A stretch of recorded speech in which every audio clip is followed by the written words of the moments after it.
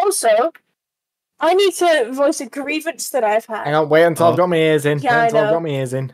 I need to. I need to be mad about something that our entire life we've been wrong about. Oh. So, recently, we were looking at the Christmas section of stuff, like the Christmas foods, and Riot was like, damn, I could really use some mince pies right now. And I'm like, you know, I don't think we'd ever like mince pies. We've never had them, but the idea of having meat in a little thing isn't really good. And he's like, there isn't any meat in mince pies. And I'm like, well, why the fuck is it called a mince pie? And he's like, because it's mince meat, it's food. And I'm like, that doesn't make any more sense! It has to have meat in it! Where's the meat? The fuck happened to the meat in the mince pie?